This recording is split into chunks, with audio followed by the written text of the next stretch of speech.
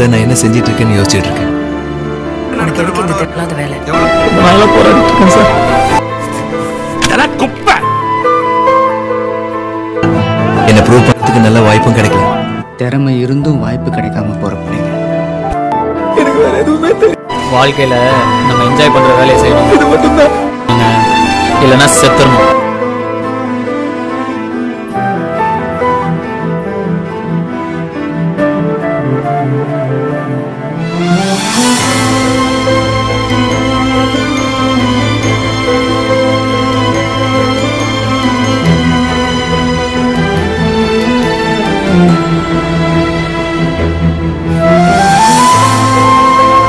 என்ன ஞாபகம் வச்சுக்கிற மாதிரி?